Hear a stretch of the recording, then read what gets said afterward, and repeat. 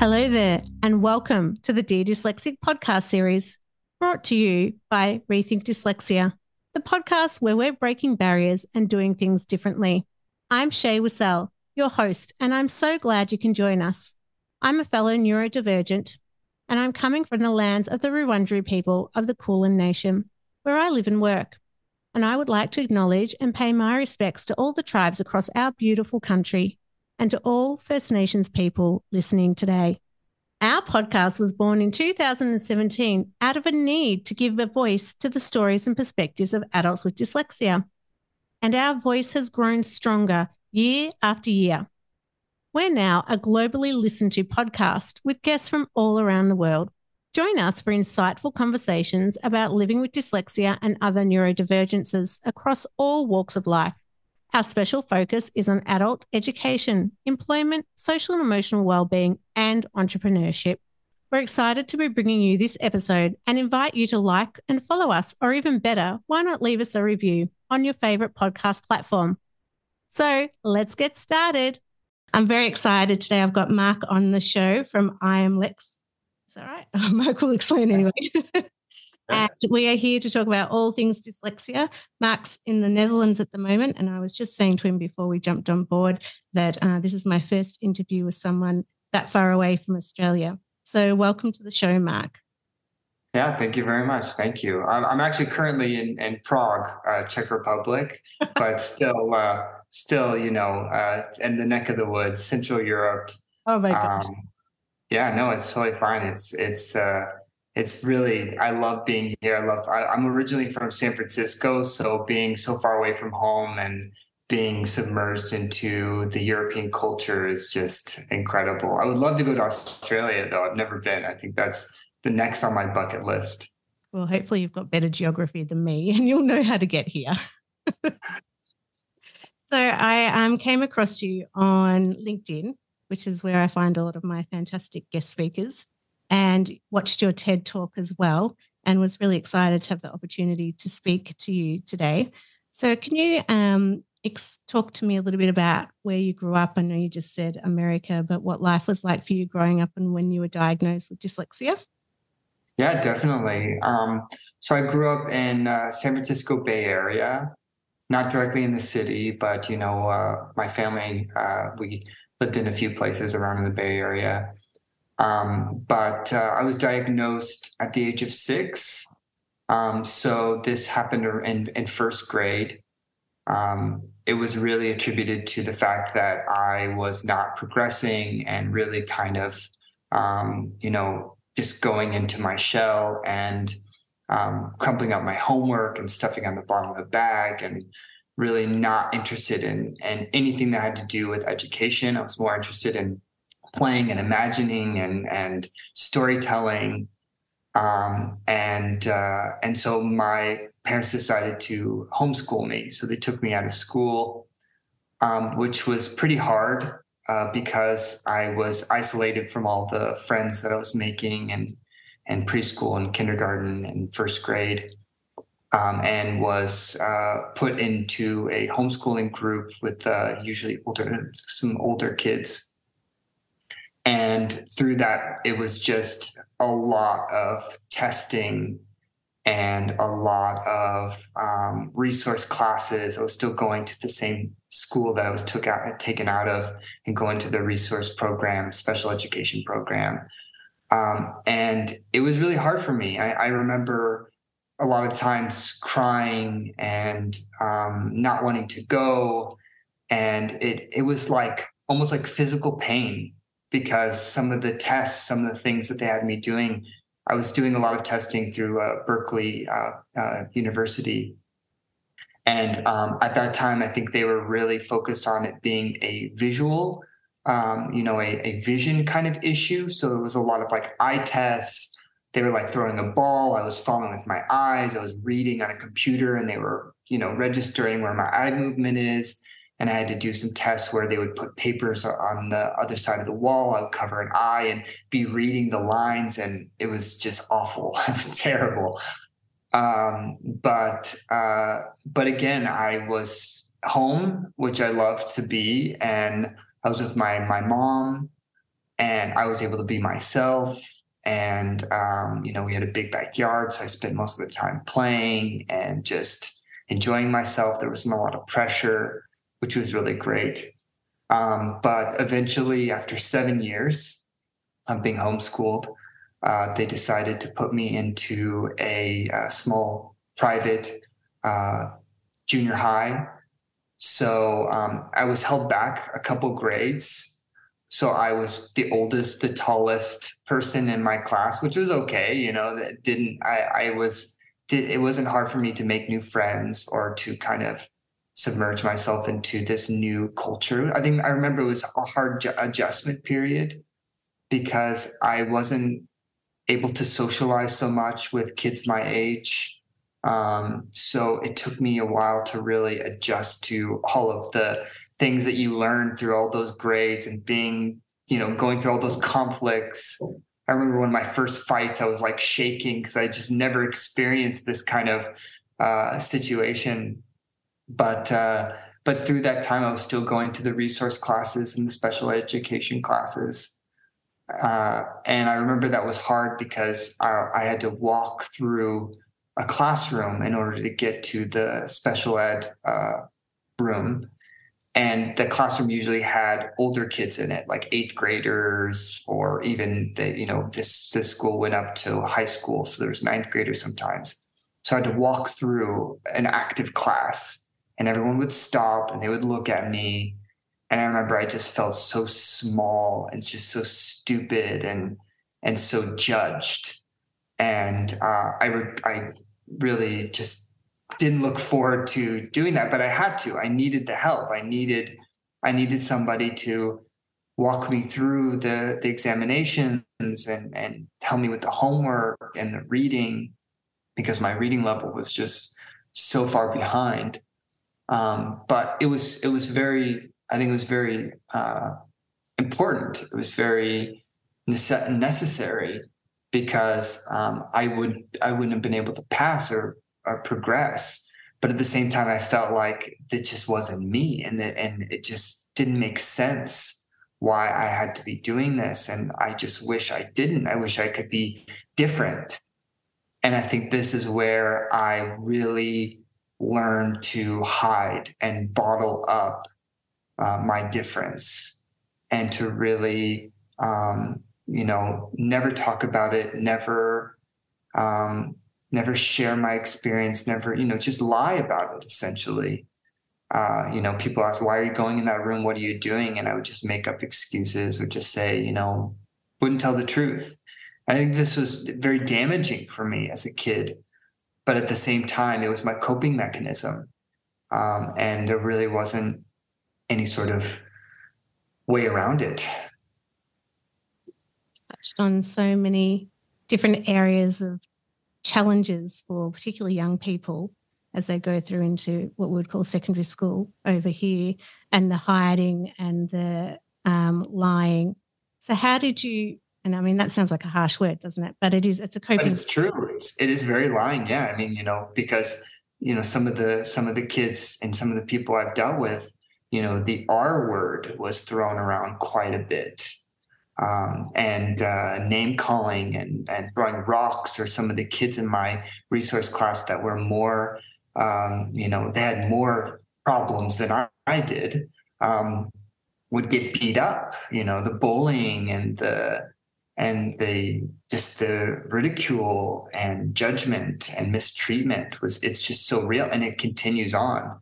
So yeah the lying was the only way for us to feel like there's some way to avoid this and it's it's it's a shame. So how did you um, support your mental health? Was there anything that your family were able to do during that time or was it all internalized until you got out into the big wide world where we're still picked on but there's different ways of managing it as we progress into adulthood. Yeah i mean i think that um, you know at the time mental health and this this topic was just of course not discussed at all. Um, it was very taboo uh, when i was growing up. Um, i think for me i you know i i think for anyone who's neurodivergent or dyslexic um, we all have had this, and I've and I've learned to recognize the the depression and to recognize the mental health uh, impact it has, um, together with the uh, you know euphoria and creativity and all of that. It's like yin and yang. But um, I mean, as a kid, it was it was really I think that I escaped in my mind and my stories um, and my imagination uh, and just um, isolation.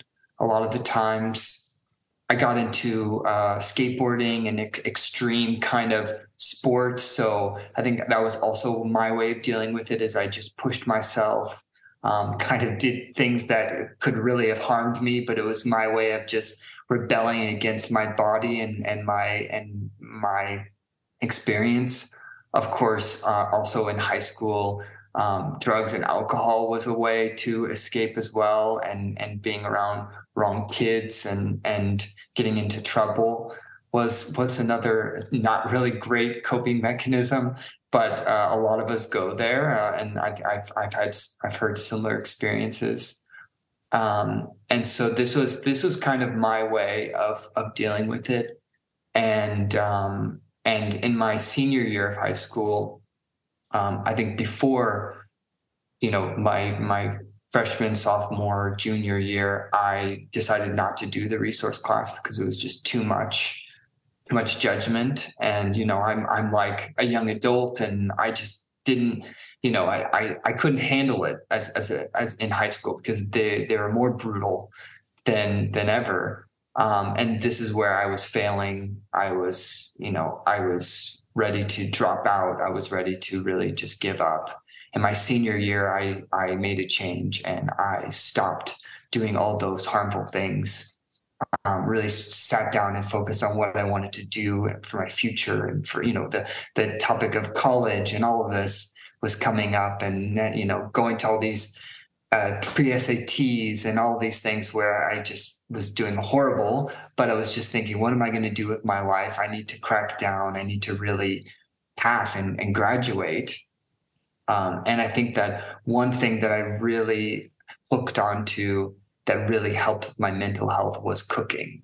I loved cooking. I wanted to, I, you know, I was like, I'm not going to get into any college. I'm not going to really be able to do anything academic other than culinary arts. So I signed up for a course through um, my high school, uh, connected to another high school called Serendipity program for culinary arts for for uh, high school students, and we did cooking competitions. I would wake up at six or 6 a.m. sometimes 5:30 a.m. make like you know 200 cupcakes and just like be with other kids that were also wanting to be chefs and and and to cook. And so that was, I think, a really amazing way for me to just to like be myself and you know make people happy through my cooking and just uh, grow into something that I, I absolutely love. I'm smiling a lot here because that's exactly what I was going to do when I was in high school. Even though I didn't know I was dyslexic, um, I was really good at cooking and I loved it and so that I started on that trajectory, but uh, didn't end up becoming a qualified chef. But I still love to cook, so it's interesting that you found that passion and that skill set in cooking. Mm. But was there something pivotal that made you sit down to think, I need to change my ways? Because that's at such a young age, and I've heard some um, other people I've interviewed that had a similar thing at their when they're in their later years of secondary school, something happens and they realize that they need to change the trajectory or it could not go the way they really want it to. So, was there anything pivotal, or do you think it was just as you progressed through high school and you found cooking? I mean, I think that, um, I, mean, from, you know, when, when I was, I think it was my junior year and I was just absolutely failing everything, just like, and the teachers were having meetings with my parents and, and sending in letters and just saying, you know, he's not going to be able to graduate. Um, he's not going to get into college. I've had a lot of, you know, teachers saying, you know, you're not going to make anything of yourself. You know, it was, it was really just this constant, you know, bringing you down. Um, but I did have, I did have, uh, especially in the resource uh, resource teachers, um, my special education teachers, they're always encouraging me and saying, "You're going to do great." I had one in particular that was saying, you know, one day I'm going to look you up, you know, 15 years from now, and I'm going to just be so impressed, and you're going to just blow everyone out of the out of the water. And I think that's that was a, a pivotal mo- moment where I knew that I could do something for myself. I could make something of myself if I really stop, um, you know, stop doing, you know, stop drinking and, and smoking and these kind of things that were harmful, hanging out with this bad kind of skateboarding crew. And um, there was just a moment where I just realized like, this is just not for me and it's not healthy and I don't feel good and I need to take control of my life. Um, so I think this was a moment that I really uh, saw that you know that I can make something of myself. But I think that later in life, um, you know, when when I I graduated and I ended up moving to Europe um, uh, when I met my wife. Uh, this was 16 years ago, and um, I realized that being a chef takes a lot more energy and effort. And I love weekends and, and holidays. And if you're a chef, you don't get weekends and holidays. So uh, I really decided that I need to pursue a career in advertising and and mass media and communication, which was, you know, like I said, I, I'm a storyteller. I love living in this world, and that's that's where you know that's a great industry for for people like me and I think this is when I started seeing the connection to my dyslexic thinking and my, you know, unique way of looking at big picture and and you know problem solving. And I think this is what was a pivotal moment where it's like, okay, I think this could actually be the career for me. It's something that I could really love and really do. And I saw that my dyslexia actually will help with this. It took me a while to realize that, but I, I started seeing how that those two and two come together.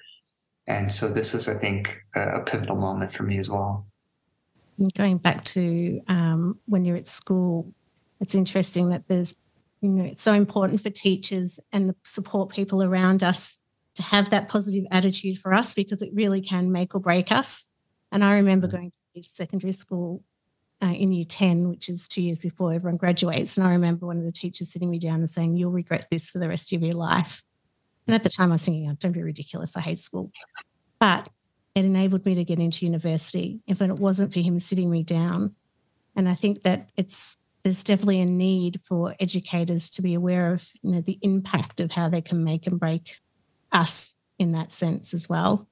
But I'm yeah, excited to hear, you know, how you're able to turn it around. And then as you progress through adulthood, start to see the positives of being dyslexic, because especially after being faced with so many adversities and so much negativity, I think it can be really hard for people to start to see their dyslexia as something positive. We talk a lot about, you know, coming from a strength-based approach, and everyone has strengths.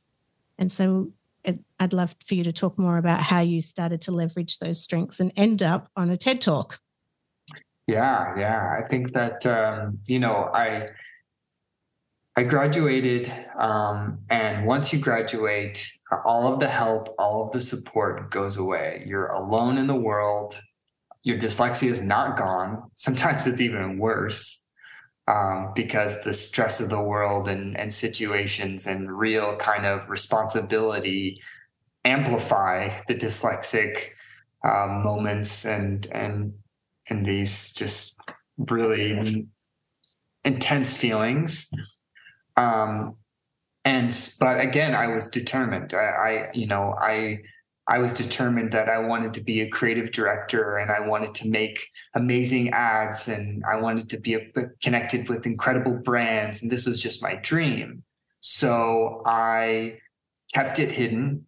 I, I made sure that I didn't want to be treated differently. I didn't want um, I didn't want anybody to know that I was impaired because I was. Um, but I, I, I could get past it. I've learned to to get past this. I've learned different ways and techniques to hide it and to avoid it. Um, not all the time, it always slips through, even when even if you checking an email hundred times, and I would listen to my emails five times over and over. Um, it was before Grammarly, so uh, I was using Microsoft Word sometimes to check it. And it was horrible. Um, so, uh, but yeah, I just I just pushed and pushed. Um, it got me into a lot of trouble uh, keeping it hidden sometimes because you know it was it was apparent that there was something different about me um, but i just kept denying it and i kept hiding it and i learned to overcome and and and i was able to you know work with some incredible um, clients and great projects um, i started in advertising in in prague so I was working at uh, Young and Rubicam was one of the first agencies, and they hired me as you know this is before social media was actually a, a business platform. Um, so I was really getting their clients and understanding together with the digital kind of focus of creativity and marketing, um, with social media and with other avenues, um, and just you know with with my with being Lex, um, I was able to, uh, you know, submerge myself and and kind of be this multidisciplinary. Even though I didn't know what I, how to do, I, I just my abilities with my dyslexia helped me to kind of learn to do everything and learn it fast, you know, to really solve that problem quickly. And so, you know, they would put me on a client. They'd be like, okay, well, we need to um, make some content. And I said, okay, give me a camera. I'll shoot it. I'll learn how to edit it. I will post it. I'll write the copy. I will figure out how to boost it. You know, I kind of do everything.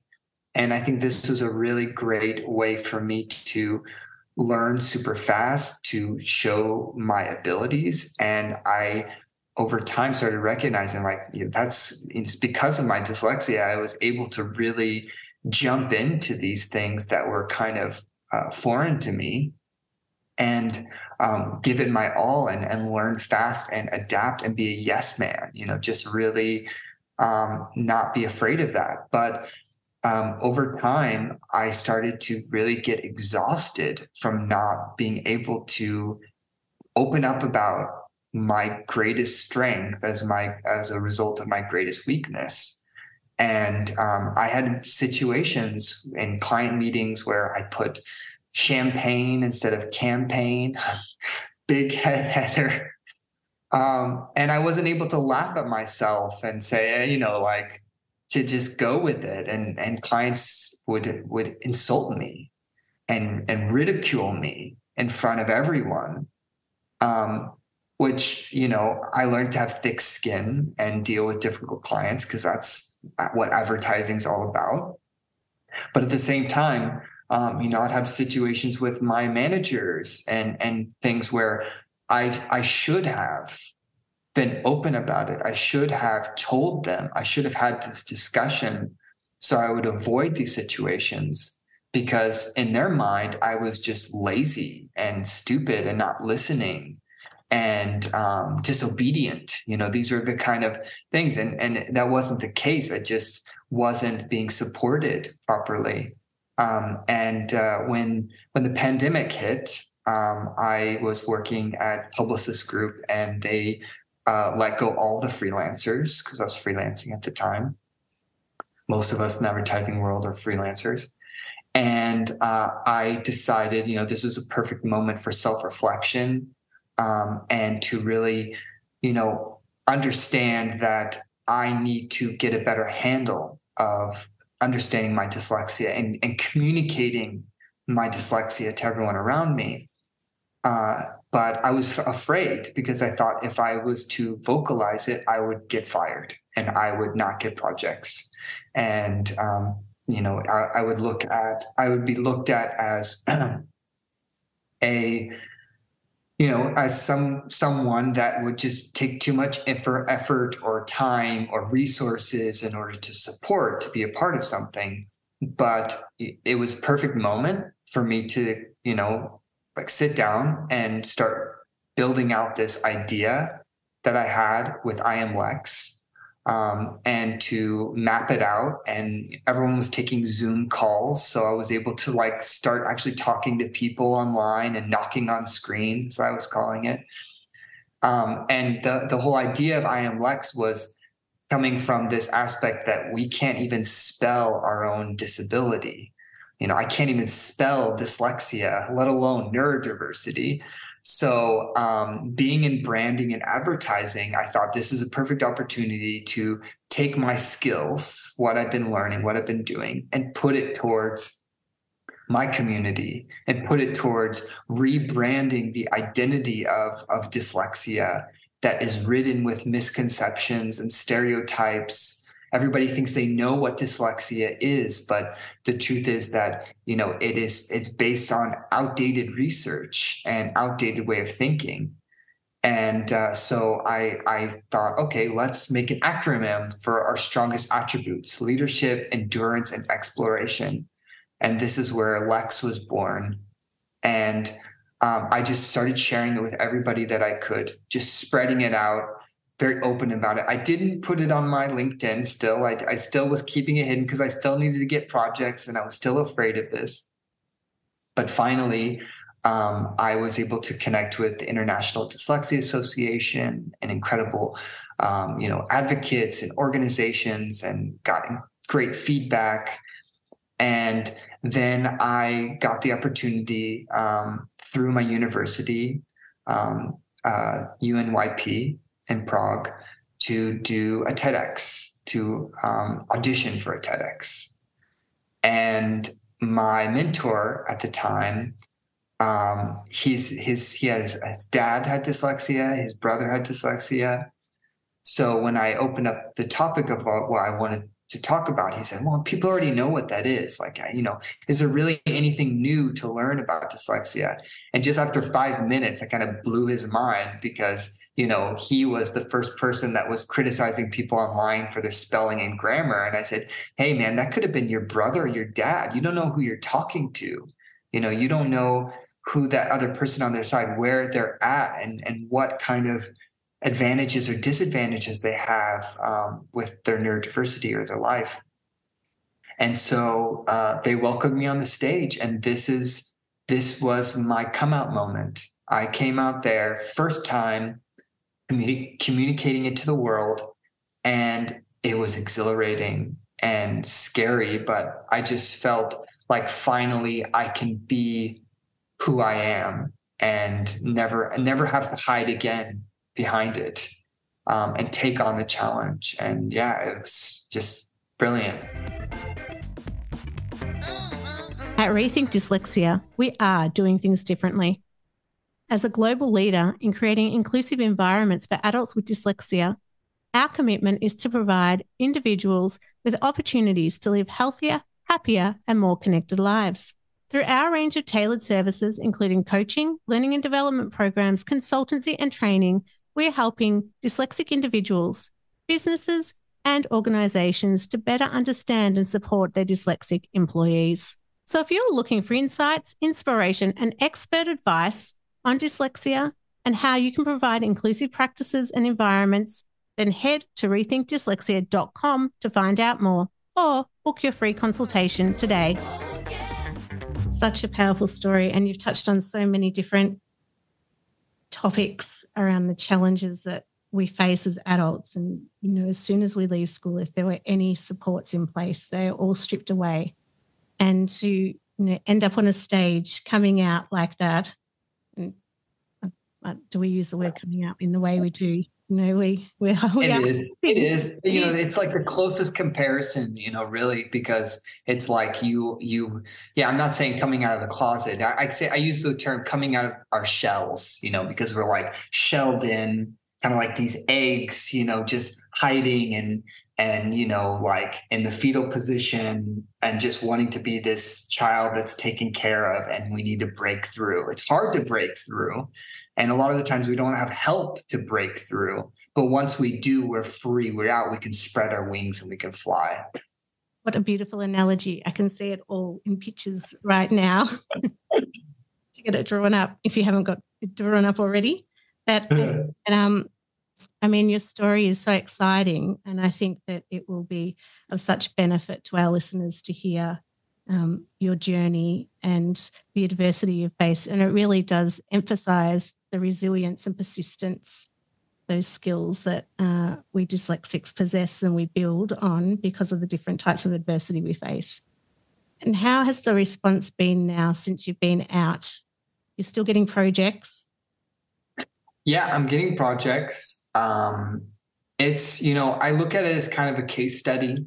Um, and a uh, just a a chance for me to uh, use my vulnerabilities um, to help to help the the future um, dyslexics that are are going to be talking to the same managers and the same hiring HR and and, and talent acquisition people um, and plant the seed in their mind. If they didn't know what dyslexia was or never met somebody like me that was open that even if I don't get a positive response from them, that it's still in their mind. They, you know, I kind of broke broke the barrier. Um, so I've had positive. I've also had negative. I've I've had some interviews where even I had some people walk out after I I talked about my dyslexia. Um, kind of like, oh, I don't have time for this, and you know, just this again, this stigma but in, in one of the interviews where the person walked out, there was a guy afterwards who kind of slowly raised his hand and he's like, because I said, you know, you don't you guys don't even know like you have a lot of neurodivergent and dyslexic employees right now that either know or don't know.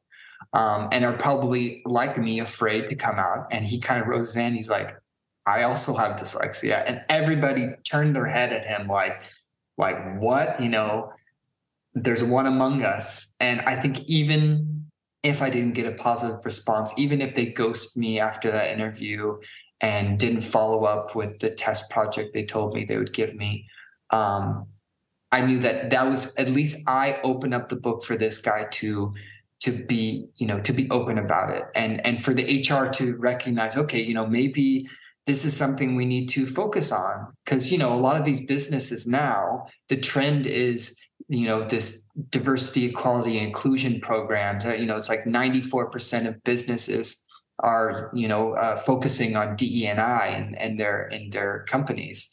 But only I think it's around 4% actually include neurodiversity or or disability in these programs. Um, and considering the mass population of people um, it's super important. So uh, but I, I, also I got a recent project with one of one uh, advertising agency that um, I've been pursuing forever, um, Goodby Silverstein and Partners, and they're the ones who did the Got Milk campaign, and uh, they have a master class where uh, Rich Silverstein um, talks about his dyslexia, and uh, they're very open about it. They're very supportive about it. So I think that this was one thing where uh, as a dyslexic, it's super important for not only my me as an employee to fit with the business, but for them to fit with me as well. It needs to be a perfect fit. And you need to find that environment where you'll be supported because if you're not, it's not it's not for us. It's not right for us. So I think this helps to filter out these places that I knew I wouldn't be successful um, and to find those those niches and those organizations and those agencies and brands that are open and supportive of the neurodivergent mo- movements. And so i think that's been really incredible. And for me it's fascinating to hear because i'm about to hopefully soon submit my thesis and i've written three papers. oh, and two of them are focused on this topic that you're talking about across the implement lifestyle life cycle. But at the moment, um, it's all Australian based because we've never had anything like this undertaken in Australia.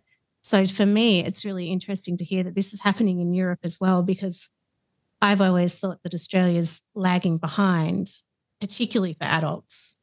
Before I started Dear Dyslexic, there were no adults really talking about dyslexia seven or eight years ago. And that's exploded in the last eight years, which has been amazing. But I would have thought that Europe would have been leading the way, like the UK has been leading the way. Yeah. So it's really fascinating to hear that this is a reoccurring, this is a, an occurrence across the world that I would have Yeah. thought, um, I would have thought Europe was better place to be supporting dyslexic adults. Yeah, I mean, you know, uh, I think there's a lot of work to be done. Um, you know, the U.S. is is very, it's very, uh, it's more open to this. I mean, especially when it comes to kids um, uh, and the the youth. I think there's a real big focus, and there's a lot of help. Um, of course, you know, it is uh, expensive. You know, there are a lot of families that can't afford this, but when it comes to adults it's still it's still very uh, you know in Europe and America it's still very far behind. Um, but yeah, UK I see that it's really kind of exploding, especially with the ADHD kind of uh, communication and, and movement and, and autism and dyslexia, of course. Um, but uh, but still, I think there's just so much work to be done and and so much more needed. Um, and again, I, I, think it is a lot of it is it is attributed to these businesses. It's scary. The word dis- neurodiversity or dyslexia or dyscalculia, you know, all these things is scary because they think the worst. They think, you know, they think this autism and they think this Tourette syndrome and and all these things that are just so foreign to them, and they think first thing they jump to is how much is this going to cost me to support it? You know, this is the first thing. So, um, and is is it going to you know impair my business? And you know, is it going to scare off clients? But there's statistics showing that neurodivergent teams are uh, basically can create more profit for businesses that it actually, you know, like uh, Deloitte did an amazing uh, analysis of this, talking about neurodiversity in the workplace and how, you know, they they were showing like 33% of teams with nerd with neurodivergent employees are are more effective and businesses are making more money and getting more clients. And you know because it's all you know the what the millennial and gen z are are, are most uh, interested in is purpose products. When there's a purpose behind a, an organization or a product or you know something that that is actually trying to do good for the world, we are more uh, accepting of it and we're more trusting of it. And so I think that it's slowly growing. It's getting there. I think people are becoming less scared um, of the words.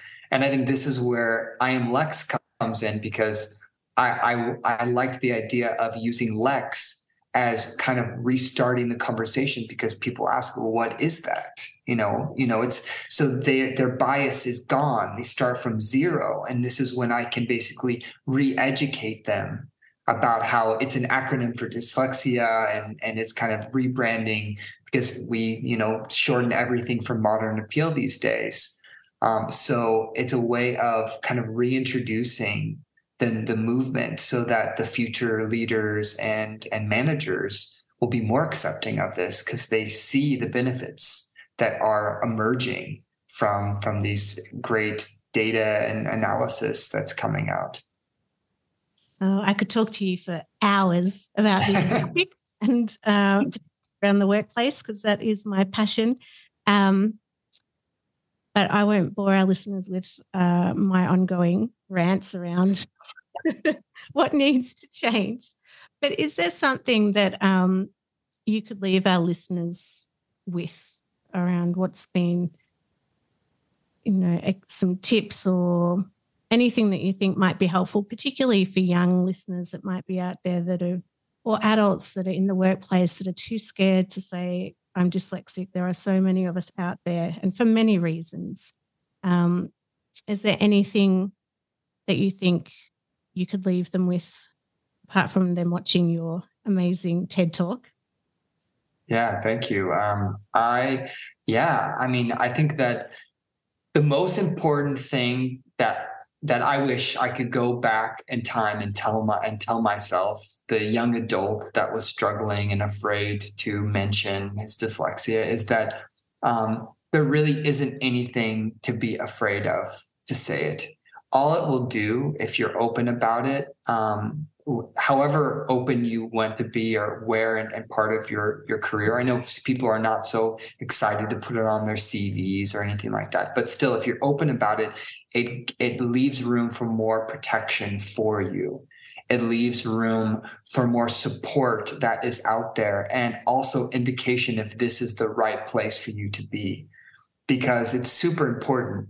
You may be really trying to make it work but if you don't have that support or understanding because dyslexia doesn't go away and it will always be a part of your working mentality um, to have to be open about it and to to to share it will help to protect um, your you know your future and your career and your your current job. Um, but i think that also it's really important to I mean, what I would what I would say is to really focus on your passions, focus on the things that make you happy, that you feel you're the best at, and really um, try to focus in on how to how to make that a part of your career and your life, and to find something that fits within that. Because that, as as a dyslexic, that is where you will be most comfortable. That is where you'll be most successful and never try to be what people are packaging or putting you in this box.